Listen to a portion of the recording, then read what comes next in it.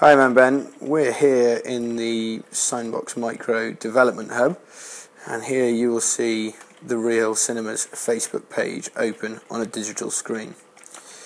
This is transitioning through to e-posters and uh, trailers. As you see here is a trailer for Ong, Ong Bak, a Thai film. Um, obviously you can keep the transitions for as long as you want here. What we'll do now is show you how the Facebook page would update live with your client's interactions.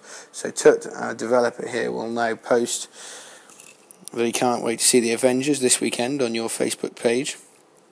Okay, so there it is, that's loaded there straight away. Now what this will do, this will then show on the screen the next time it comes around here. So you can imagine clients sat there in the queue checking in or liking features of Reel Cinemas and it would display in front of them here on the screen. So this would be great to increase the, the Facebook presence. So there it is. As you can see at the bottom there, it's a QR, QR code with the link to your site as well. Hope this helps.